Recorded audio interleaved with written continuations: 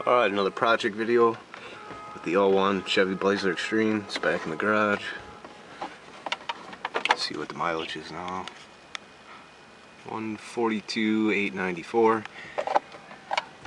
I got uh, multiple repair videos on YouTube of this vehicle. Working on replacing the hub assemblies, hub front bearings.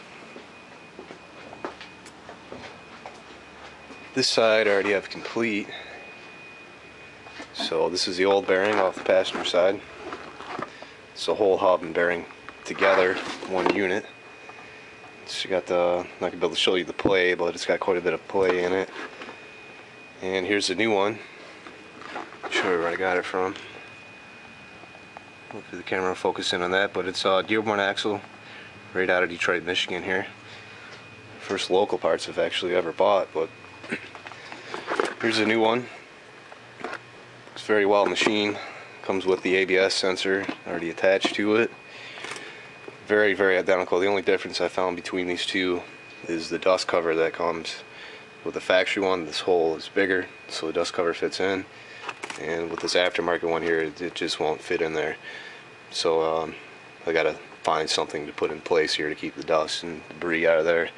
But that's the only major difference between the two units. Um, less than half the price of the big three auto parts store, under $50 per hub from this uh, Dearborn axle. But it's a fairly simple job. Unbolt your brake caliper, unbroke the uh, brake caliper bracket, and then back in here you have three 18 millimeter bolts that hold on the hub to the spindle. Same thing with the brake caliper and bracket bolts. They're both 18 millimeter. And then uh, just unclip your ABS line from the upper A arm right there. Back in here, where it plugs in. So unplug that. Simple. Push that back through and uh, not too bad of a job.